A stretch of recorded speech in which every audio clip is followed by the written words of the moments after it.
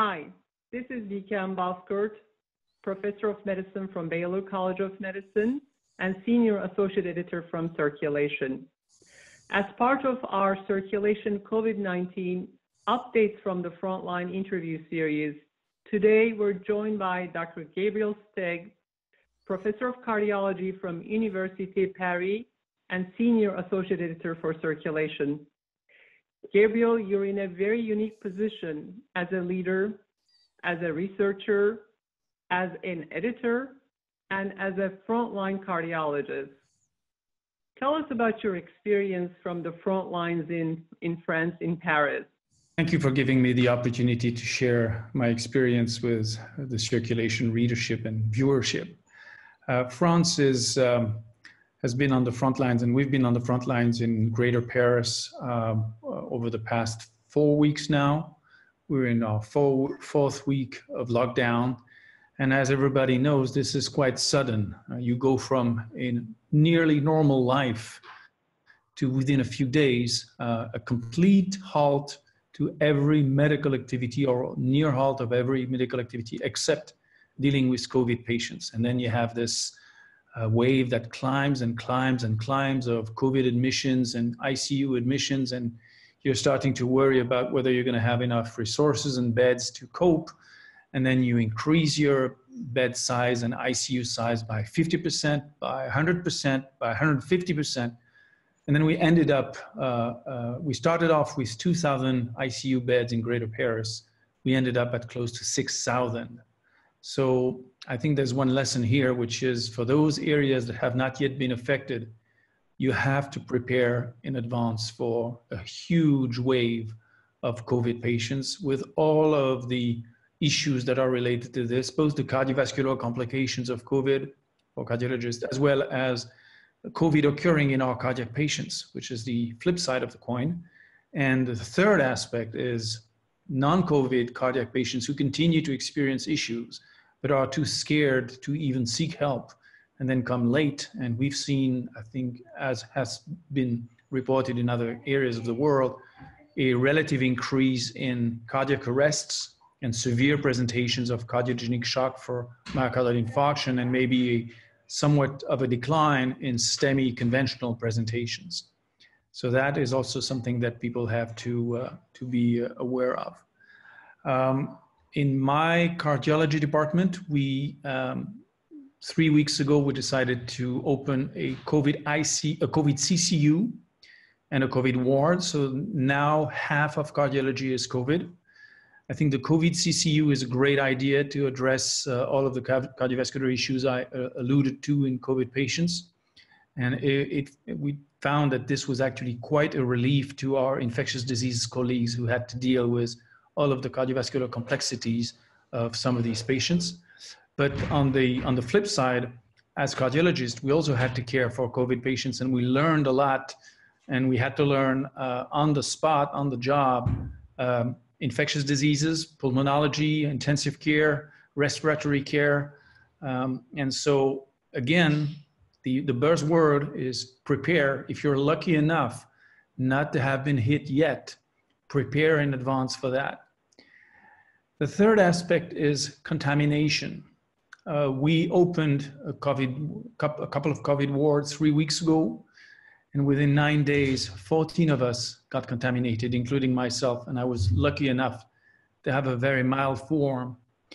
Uh, we are not really sure of how this happened.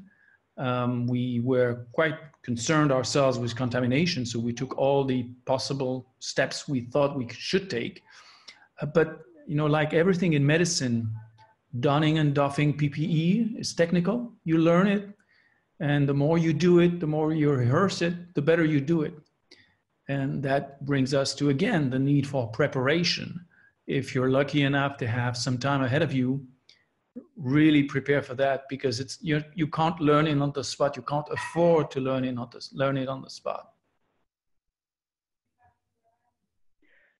Thank you for sharing your personal experience as a COVID 19 patient and as a scientist, as a leader, as a section leader. What went through your mind as you were you know, going through the diagnosis? on your personal journey? Well, um, I have to tell you, I was concerned. I was very concerned because uh, uh, you rapidly get to see some of the most severe forms of disease. And while 80%, 85% of patients get away without even needing to go to the hospital, we all know that 5% or, or so end up in the ICU, and uh, there's substantial mortality even in younger patients. Um, I'm 61, so uh, I was in the age range where the odds were favorable, but uh, not 100%. And so I was really lucky to have a mild form, and so far so good. And uh, you know, I hope everything's going to be fine. Uh, it's a stark reminder of what's related to our duties as physicians, uh, and this is true for all healthcare professionals, including uh, people who uh, uh take care of cleaning the hospitals, including people in charge of safety, including secretaries, everybody who's dealing with um, taking care of patients and, and patients is exposed on the front lines. And we owe it to everybody to have all of the protective equipment and gear and all of the proper training we can and in many places, we didn't have enough time to, to prepare. And again, again, that brings me back to my motto that, you know, if you're not in an affected area yet, absolutely prepare. You must have thought a lot about research during these times, um, both being a leader and an innovator and a scientist. What recommendations do you have while we're in the midst of this uh, big crisis for funding agencies, regulatory agencies, and for researchers like ourselves?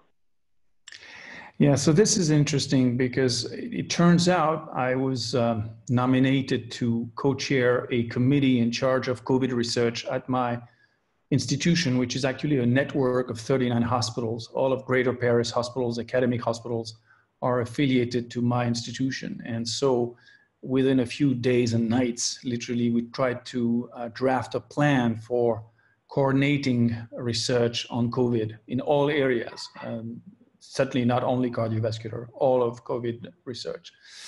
And um, uh, what we decided is that we could not afford to delay research for later. As we know, we don't have a, a curative treatment for COVID. We only have palliative treatment so far.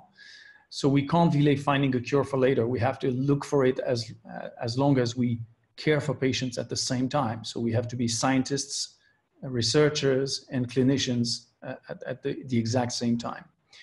We decided to um, prioritize three areas.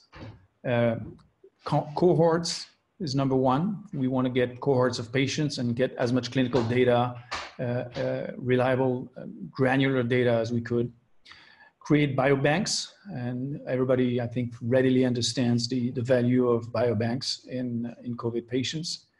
And third were, of course, um, treatment trials. And so there are many other areas that one can find important and that are covered in our research program, but these are the three areas which we prioritized over anything else. The other thing is we had uh, conversations with the regulators, the healthcare authorities, and the IRBs and they all agreed, actually, they agreed even be, before we asked to set up fast track procedures. And therefore, we've been able to review in the committee more than 180 research proposals. We prioritized uh, 79. We started 37. We've, we're already enrolling patients in several randomized trials and many cohorts. And we've had studies that, were, that went from being written to being approved in 12 days and enrolling the first patient in 14 days. Uh, so we can get through the whole uh, shebang of approval in, in 48 hours. And IRBs meet on weekends. IRBs will meet on Easter Monday uh, and review uh, studies and protocols. And I think that this is what is needed for this extraordinary uh, thing that we're experiencing, you know, literally a once in a lifetime experience. Certainly, I hope it's a once in a lifetime experience of finding a of, of, fighting a pandemic and needing to find the cure as long as at the same time as we are treating patients. Um, as we all know, research is also collaborative. It's international. It's a worldwide process. Uh, there's a lot you you must have heard of the controversy around hydroxychloroquine and uh, the desire of some to use this agent based on anecdotal reports, observational studies, uncontrolled trials. Um, there's been a lot of discussion about the ethics of randomized clinical trials. It's funny to see uh, the uh, um, um, morning shows uh, on TV discussing the ethics of randomized control trials, but this is what's happening in this country. Uh, I very, very strongly feel that uh, the rigorous evaluation of therapies via RCTs is the most ethical thing that we can do to get quickly to a cure. And that anything that delays this, however good quality an observational study may be, actually is delaying our, find, our finding a cure and therefore is an obstruction uh, in finding treatments. And I think a good and quick RCT is so much more valuable than the anecdotal experience, even if the anecdotal, uh, anecdotal observational experience is about a thousand patients. This is meaningless. And this is a very practical debate we're having in France. As you know, there's a lot of political discussion about therapies for COVID. Uh, people are taking sides on social media, uh, TV show personalities, uh, politicians. It's, it's very odd. Uh, but I think as scientists, we need to stick to our guns and get those RCTs done as quickly as possible. I cannot agree with you more, Gabriel. And with this, I would like to thank you first for sharing your personal story and also your perspective, experience, and recommendations. And I also would like to take this opportunity to thank all our healthcare workers who are fighting in the front lines in these very, very challenging times. Thank you. Thank you.